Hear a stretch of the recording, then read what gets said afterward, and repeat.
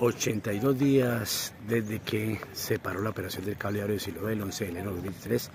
No hay cabinas suspendidas en el aire. El techo era el pretexto, ahorita tienen otro pretexto que los técnicos están en Europa y que llegan en 8 días. Hoy es el día 82, hoy es domingo, 2 de abril de 2003. Así está la montaña.